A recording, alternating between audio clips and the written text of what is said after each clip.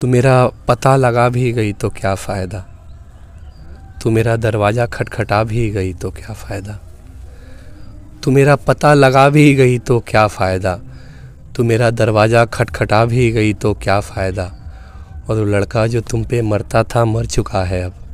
तू लौट कर आ भी गई तो क्या फ़ायदा? कभी इसके साथ कभी उसके साथ हर लड़की पे हम मरते हैं।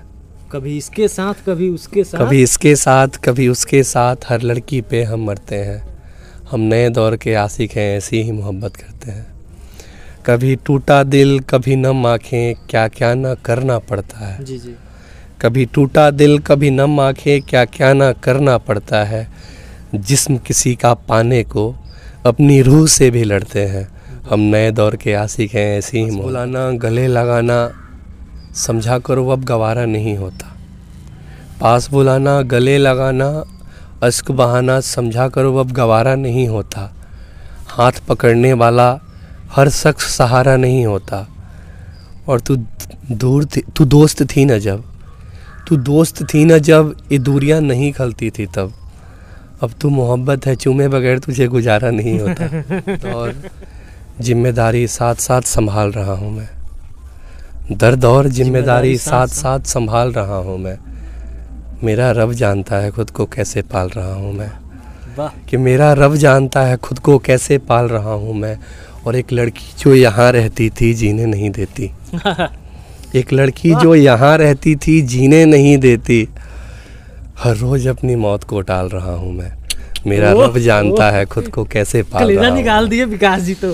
किसी नज़र में मुझे भी पाने के सपने होंगे। जी। कोई मुझे भी अपना सब कुछ बताया करेगा। किसी नज़र में मुझे भी पाने के सपने होंगे। मुझे भी कोई अपना सब कुछ बताया करेगा। तुम किसी और के नाम की मेहंदी लगाओगी। कोई मेरे भी नाम का सिंदूर लगाया करेगा। जी बिल्कुल बिल्कुल। जैसे अ, जैसे कहा जाता है कि जी। अ, जो शायर होते हैं ना एक मेरे दोस्त हैं पीयूष उपाध्याय पटना के उनकी एक शायरी है दो लाइन की कि सुबह से शाम तक बैठा डायरी डायरी करता है। वो लाइन सारे शायरों को डेडिकेटेड है कि सुबह से शाम तक बैठा बैठा डायरी डायरी करता है। एक लड़की अपनी मम्मी से कह रही है कि कि सुबह से शाम तक बैठा डायरी डायरी करता है। मैं उससे शादी नहीं करूँगी माँ वो लड़का शायरी करता है। कि तो शायर शायर लड़का नहीं चाहिए। तो ये जो शायर लोग का है ना इनकी आँखें सब कुछ बता देती हैं और जो बचा खुचा रहता है शायरियाँ बता देती बता हैं। देती हैं। सामने वाले को पहले से ही पता रहा बंदा पहले से टूटा हुआ है। शायर है। हाँ तो उससे तो बिल्कुल नहीं। तो मैंने अपने लिए लिखा था एक लाइन के मेरे गिरफ्त से तुम्हें आज़ादी हो जाए। जैसे बिखरा हूँ मैं तेरी बर्बादी हो जाए। मेरे गिरफ्त से तुम्हें आज़ादी हो जाए। जैसे बिखरा हूँ मैं तेरी बर्बादी हो जाए। और तुझे भी पता चले एक लिखने वाले का दर्द।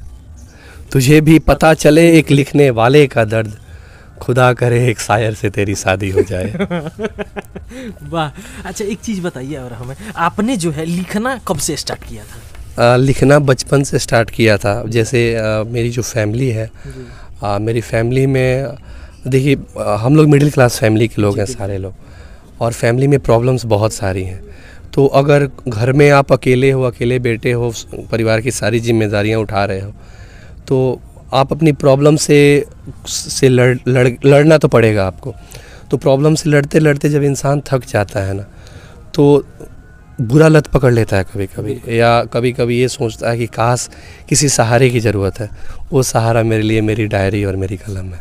और डायरी कलम को सहारा बना लिया हाँ और डायरी और कलम मतलब जो ये जो लोग हैं ना ये जो मेरी डायरी और मेरी कलम है जी जी। ये मेरे जीवन का वो हिस्सा है जो बातें मैं किसी से नहीं कह पाता हूँ। उन बातों की गवाही वो लोग देते हैं। एक शायरी सुनिएगा एक और था शायरे के आँखों में तो है पर पल को तले नहीं लगता। वो मेरा ही किरदार है मेरा भले नहीं लगता। और एक ऐसी पाबंदियाँ हैं इश्क में मुझे तो जायज़ नहीं लगती। यार वो मुझसे मिलता तो है मेरे गले नहीं लगता। वाह। अच्छा एक चीज़ बताइए अभी जो माहौल है अभी जो हमारे प्रेमी प्रेमिका हैं उनके लिए कुछ आपने लिखा है अभी आज के- आज के माहौल के हिसाब से। आज के प्रेमी प्रेमिकाओं के लिए एक शायरी लिखा था मैंने। ए, आ, जैसे अगर कोई ये कह रहा है ना अपने सर्कल में कि मेरे पास आ, इतने सारे लोग हैं प्यार करने के लिए मेरे पास एक से ज़्यादा है जी जी। तो उसको एक प्राउड के तौर पे वो कहता है लड़का। बिल्कुल हाँ ऐसे ही तो ये नए दौर के आशिकों के लिए था कि कभी इसके साथ कभी उसके साथ हर लड़की पे हम मरते हैं। कभी इसके साथ कभी उसके साथ? कभी इसके साथ कभी उसके साथ हर लड़की पे हम मरते हैं। हम नए दौर के आशिक हैं ऐसी ही मोहब्बत करते हैं। कभी टूटा दिल कभी नम आँखें क्या क्या ना करना पड़ता है। जी जी। कभी टूटा दिल कभी नम आँखें क्या क्या ना करना पड़ता है। जिस्म किसी का पाने को अपनी रूह से भी लड़ते हैं। हम नए दौर के आशिक हैं ऐसी ही मोहब्बत करते हैं। एक लाइन लिखी थी मैंने कि कि खुशी एक के हिस्से दर्द सारे मेरे हिस्से। खुशी, एक के हिस्से दर्द सारे मेरे हिस्से। मोहब्बत कभी बराबरी का हक नहीं देता। मतलब ये चीज़ ऐसा है कि आ, लोग आ, जो मैथमेटिक्स है ना मैथमेटिक्स कहता है कि two minus one equal to one. Love कहता है two minus one equal to zero. Zero. एक गया मीन्स ख़त्म सब कुछ। और सेम चीज़ दोनों के लिए है लेकिन एक इंसान जब जाता है उसको कोई फ़र्क नहीं पड़ता और एक, एक इंसान की पूरी ज़िंदगी तबाह हो जाती है। तो लोग प्रैक्टिकल होने लगे हैं और जो लोग एक बहुत बड़े शायर की लाइन थी कि बेवफाओं से हारे हुए लोग जी जी। बेवफाओं से हारे हुए लोग बदला वफादारों से लेते हैं। बदला वफादारों से लेते हैं। कि अगर किसी रिलेशनशिप से बाहर निकलता है इंसान बहुत टूट करना वो उस समय बुरा बनना स्टार्ट करता है क्योंकि उसे पता है कि पीछे उसके क्या हुआ है। क्या हुआ तो कहीं ना कहीं कर्मा जी जी। यही चीज़। प्रेम को लेकर के आजकल क्राइम भी बहुत ज़्यादा हो रहा है। हाँ बहुत ज़्यादा हो रहा है कि नहीं हो रहा है? हाँ, बिल- केवल नासमझी की वजह से। हाँ हो रहा है। देखिए प्रेम एक ऐसा विषय है ना जिसको समझने के लिए इंसान को बहुत मैच्योर होना पड़ता है। लेकिन लोग समझते नहीं हैं। कच्चे उम्र का हाँ कच्चे उम्र के हाँ, ये बचपना है ये बचपना है। अब बच अब अब चीज़ हर चीज़ अब एक चीज़ देखिए अगर आपको कोई चीज़ पसंद है तो आप ये कहोगे कि मुझे वो चीज़ पसंद है काश वो मेरे पास होता। अगर आपके पास नहीं होता इसका मतलब ये थोड़े ना है कि आपको उस- आप उसको पाने के लिए किसी हद तक जा सकते हो।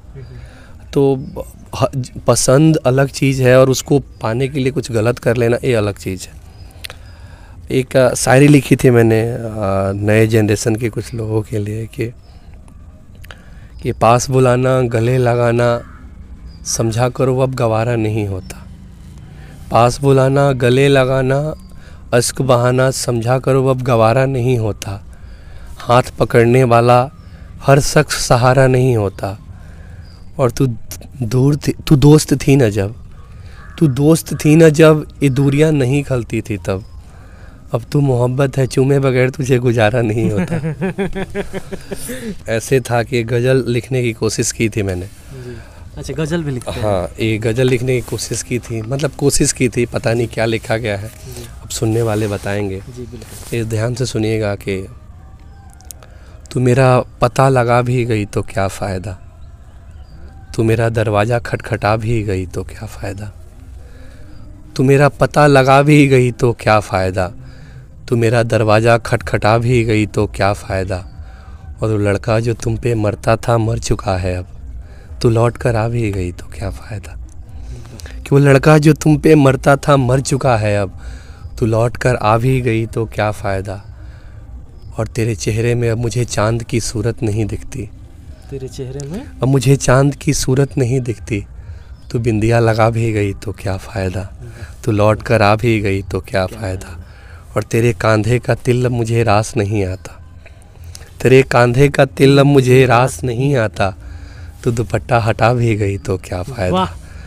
तू लौट कर आ भी गई तो क्या फ़ायदा? और आखिरी की दो पंक्तियाँ हैं इसमें कि एक अरसे से रातों को सोया नहीं हूँ मैं। एक अरसे से रातों, रातों को सोया नहीं हूँ मैं। तू बिस्तर लगा भी गई तो क्या फ़ायदा? तू लौट कर आ भी गई तो क्या फ़ायदा?